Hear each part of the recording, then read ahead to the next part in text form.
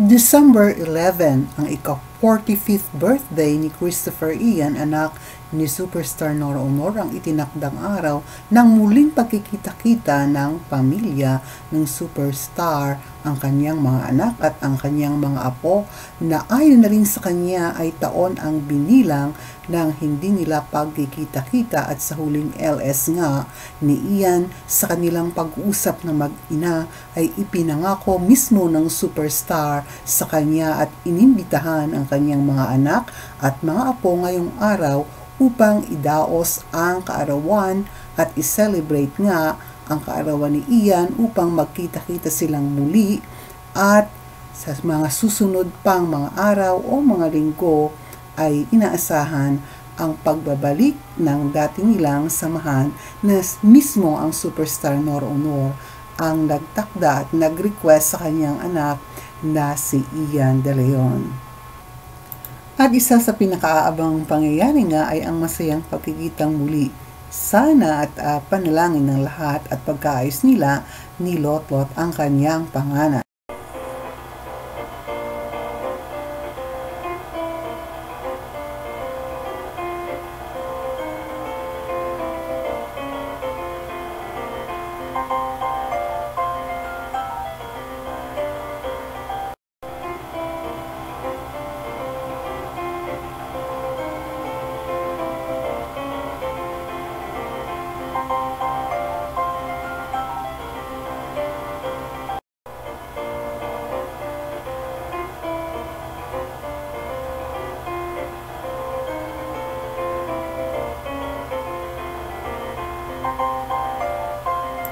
Isang malugod na pagbati po ng Happy 45th birthday, Mr. Christopher Ian De Leon at nawa po ay patuloy kayong patnubayan ng Diyos ang inyong family at ang mga gawain po ninyo na mabubuti ay lagi po ninyong ipagpatuloy para sa kapurihan at karangalan ng ating Panginoon at nawa sana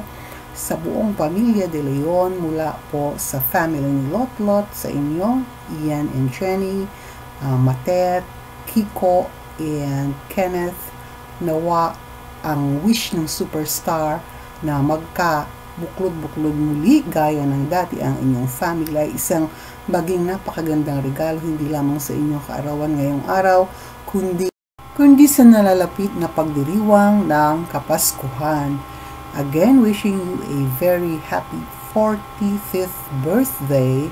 and nawa ang muling pagkikita-kita po ninyo ng inyong buong family ay isang naging